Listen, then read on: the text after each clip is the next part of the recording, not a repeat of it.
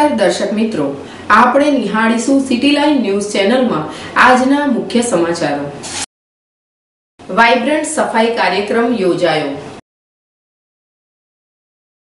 ગુજરાત વિધાનસભા અધ્યક્ષ પદે ગણપતસિંહ વાસાવા. ગોંડલમાં યુવાનને અજાણ્યા શખ્સોએ ગુદામાં છરી મારતા લોહી લુહાણ. રાજકોટ શહેરનો ભૂમાફિયા બલી ડાંગર ગિરફતાર. અમદાવાદમાં સંગીતમય શ્રીમદ ભાગવત કથા, જ્ઞાન યજ્ઞ મહોત્સવનું આયોજન. રાજકોટ ખાતે માલધારી સમાજ દ્વારા રજૂઆત. ઓલિમ્પિક્સના હોકી ખેલાડીઓ રાજકોટની મુલાકાતે. વાઇબ્રન્ટ સફાઈ કાર્યક્રમ યોજાયો. દેશના વડાપ્રધાન મોદી દ્વારા સ્વચ્છ ભારત અભિયાન શરૂ કરવામાં આવ્યું છે એવો જ વાઇબ્રન્ટ સફાઈ કાર્યક્રમમાં મુખ્યમંત્રી શ્રીમતી આનંદીબેન પટેલે ભાગ લીધો હતો તેમણે ખૂબ જ મોટી હસ્તીઓ વચ્ચે સ્વચ્છતા અભિયાન વિશે જાણકારી કરી હતી. Swachh Bharat and Swachh Vidyalay can definitely come true in India, starting from Gujarat. In one of his many trips with Yuva to Many of my friends are Ali. And why was on education? And traffic rules that also like I said earlier CM નું મળે સારું education એને મળે અને એના માટે આપણે બધા જોડાઈએ આપણે બધા છીએ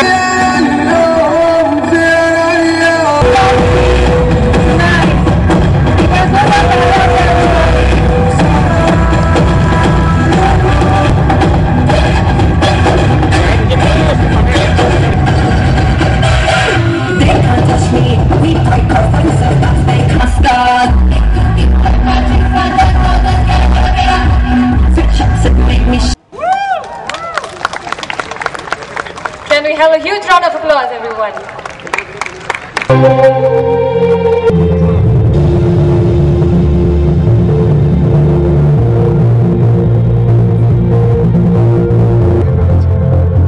ગુજરાતની બત્રીસ હજાર પ્રાથમિક શાળાઓમાં ટોયલેટની વ્યવસ્થા કરીને સૌથી પહેલી ગર્લ્સ માટે કરી. કારણ કે સૌથી વધુમાં વધુ દીકરીઓ ઉઠી જતી હતી. પાંચ ધોરણની અંદર માત્ર બે બાળકો ઉઠી જાય છે અને એકથી સાત ધોરણની અંદર માત્ર પાંચ બાળકો ઉઠી જાય છે. આ સિદ્ધિ આટલા વર્ષોના પરિશ્રમ પછી આપણે હાંસલ કરી થોડું કામ આપણી જાતે કરવું જોઈએ. સ્વચ્છ આપણી જગાઓ હોવી જોઈએ, આપણું ટોયલેટ સ્વચ્છ હોવું જોઈએ. અને સ્વચ્છ હશે તો રોગો નહીં મળે. અને આ ભાવ જો નાનપણથી બાળકોની અંદર જગાવવામાં આવે, તો હું નથી માનતી કે મોટા થયા પછી એ બધું ભૂલી જાય. પોલીસ શાળાની અંદરથી વીસ બાળકો એટલે વીસ છોકરીઓ અને વીસ છોકરાઓને આઈડેન્ટિફાઈ કરે. અને અઠવાડિયામાં ચાર લેક્ચર જુદા જુદા વિષયો ઉપર તેમાં ગંદકી પણ આવી જાય, એટલે મતલબ કે સફાઈ પણ આવી જાય. બધા વિષયો એમની સામે મુકાય અને ત્યાર પછી એક વર્ષમાં આઠ દિવસ એ લોકોને કેમ્પ થાય. ગુજરાત વિધાનસભા અધ્યક્ષ પદે ગણપતસિંહ વાસાવા. તેરમી ગુજરાત વિધાનસભાના અધ્યક્ષ પદ માટે યોજાનારી ચૂંટણીમાં ગઈકાલે ઉમેદવારી પત્ર ભરવાના દિવસે માંગરોળ મત ક્ષેત્રના ધારાસભ્ય ગણપતસિંહ વસાવાએ વિધાનસભા સચિવ શ્રી સમક્ષ નામાંકન પત્ર ભર્યું હતું.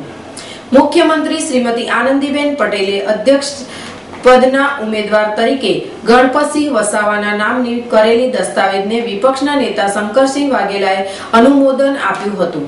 આ સમયે રાજ્ય મંત્રીમંડળના મંત્રીઓ, વિધાનસભાના દંડક શાસક પક્ષ અને પ્રતિપક્ષના ધારાસભ્યો તેમજ ભાજપ પ્રદેશ અધ્યક્ષ આર સી ફળદુ તથા પક્ષ પદાધિકારીઓ ઉપસ્થિત રહ્યા હતા અને ગણપતસિંહ વસાવાની શુભેચ્છાઓ પાઠવી હતી.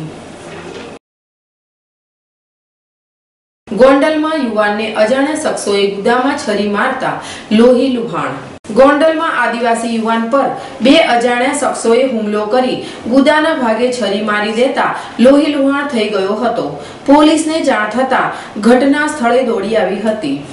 પ્રાપ્ત વિગત મુજબ ગોંડલમાં વોરાકોટડા રોડ પર સબજેલ સામે આવાસ યોજના પાસે રહેતા અલ્પેશ ઉર્ફે પિન્ટુ લક્ષ્મણભાઈ ડામર નામના આદિવાસી યુવાનને કોનું કામ છે તેમ પૂછતા અજાણ્યા શખ્સોએ આદિવાસી યુવાન પર તૂટી પડ્યા હતા અને પિન્ટુને ગુદાના ભાગે છરી મારી દીધી હતી. ઈજા પામેલા યુવાનને સારવાર માટે તાકીદે સરકારી હોસ્પિટલમાં ખસેડવામાં આવ્યો હતો. બનાવના પગલે આજુબાજુના વિસ્તારમાંથી લોકોના ટોળા એકઠા થઈ ગયા હતા. આ બનાવની તપાસ હાલ શહેર પોલીસના જીએમ શ્યારા ચલાવી રહ્યા છે.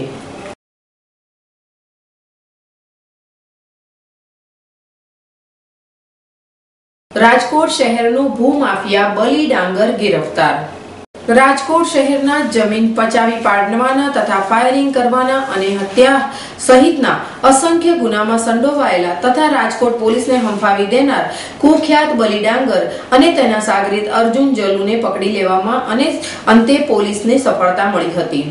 શહેર ક્રાઇમ બ્રાન્ચના સ્ટાફને મળેલી ખાનગી હકીકતના આધારે ધોરાજી બાયપાસ પાસે વોચ ગોઠવવામાં આવી હતી.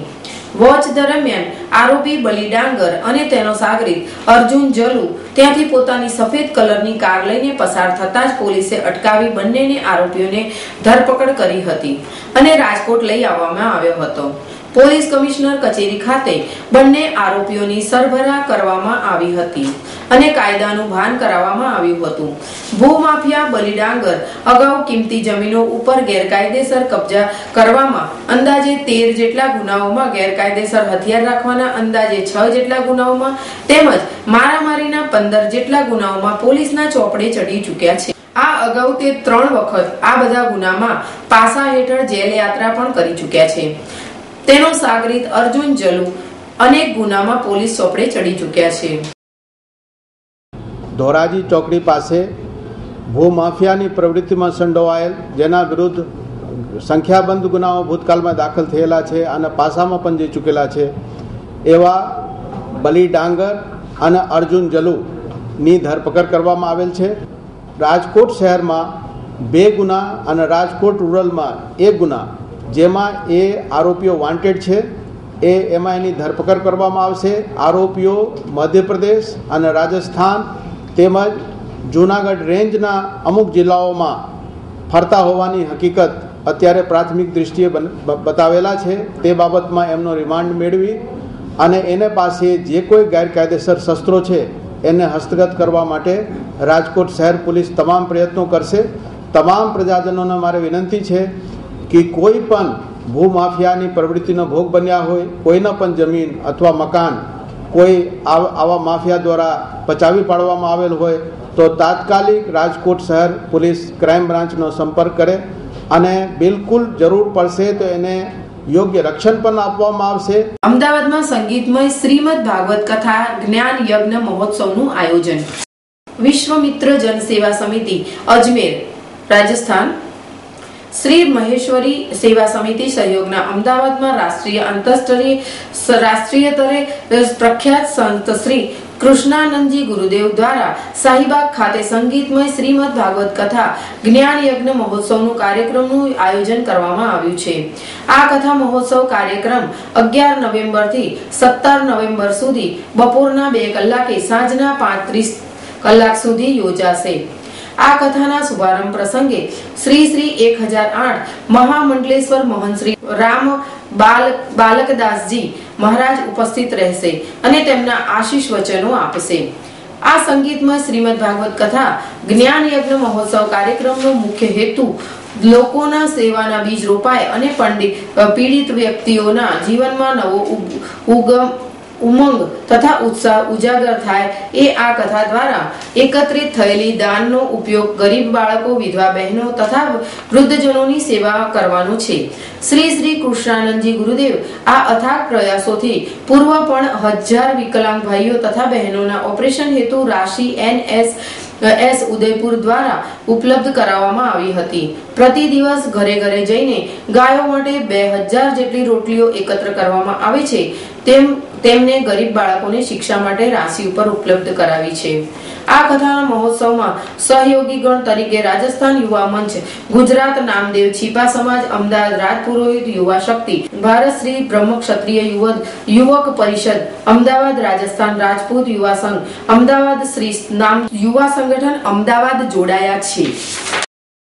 રાજકોટ ખાતે માલધારી સમાજ દ્વારા રજૂઆત રાજકોટ શહેરમાં સૌથી મહત્વનો પ્રશ્ન ગણાતા રખડતા ઢોર મુદ્દે માલધારી સમાજ દ્વારા રેલી કાઢી ઓપરેશન કોર્પોરેશન કચેરી ખાતે ઘેરાવ કરવામાં આવ્યો હતો અને પરમિટ નહીં સ્વીકારવા મુદ્દે ઉગ્ર દેખાવો કર્યા હતા. કોર્પોરેશન ચોકમાં વાહનો અટકાવી ચક્કાજામ કરી રજૂઆત કરવામાં આવી હતી. રજૂઆતને પગલે તંત્ર દ્વારા રખડતા ઢોરની ચોક્કસ સંખ્યાની જાણ માટે માલધારીઓને સમજૂતી આપવામાં આવી હતી. જો ઢોરની નોંધણી માનપાના ચોપડે કરવામાં આવે, તો જ ઢોરની સંખ્યા જાણી શકાય તેમ છે. ત્યારે શહેરમાં બનાવેલ એનિમલ હોટેલમાં અપૂરતી સુવિધાઓ હોવાથી ત્યાં ઢોર રાખવાની માલધારીઓ દ્વારા મનાઈ ફરવા દેવામાં આવી છે. તેમજ આગામી દિવસોમાં રાજકોટ શહેરમાં આવતું દૂધ પણ બંધ કરી દેવાની ચમકી માલધારી સમાજ દ્વારા ઉચ્ચારવામાં આવી રહી છે. રાજકોટમાં રખડતા ઢોર મુદ્દે મનપા દ્વારા ઢોરની નોંધણી કરવાનો કાર્યક્રમ શરૂ કરવામાં આવ્યો છે. તંત્ર દ્વારા હવે ઘરમાંથી ઢોર પકડવાની કામગીરી શરૂ કરવામાં આવશે. એ નિર્ણય સામે પણ માલધારીઓ દ્વારા રેલી કાઢી ઉગ્ર વિરોધ દર્શાવવામાં આવ્યો હતો અને રજૂઆત કરવામાં પણ આવી હતી. ઓલિમ્પિક્સના હોકી ખેલાડીઓ રાજકોટની મુલાકાતે ઓલિમ્પિક્સના તથા એશિયાડમાં ભારતનું પ્રતિનિધિત્વ કરી ચૂકેલા જાણીતા હોકી ખેલાડીઓ રાહુલ તેમજ મોહમ્મદ રિયાસ રાજકોટના મહેમાન બન્યા હતા. રાજકોટના ઉપક્રમે આ બંને ખેલાડીઓ શહેરમાં ઉભરાતા ખેલાડીઓને હોકીનું પ્રશિક્ષણ આપ્યું હતું. અહીંના સ્થાનિક ખેલાડીઓમાં ભારે ઉત્સાહ જોવા મળી રહ્યો છે. થોડા સમય પહેલા જ ભારતીય ટીમના ઓલિમ્પિયન ધનરાજ પિલ્લે રાજકોટ આવ્યા હતા. બંને હોકી ખેલાડીઓ રાજકોટ સહિત સૌરાષ્ટ્ર સૌરાષ્ટ્રમાં હોકી રમતનો વ્યાપ વધે તે માટે રાજકોટમાં હોકી એકેડમી શરૂ કરવાની વિચારણા કરી રહ્યા છે.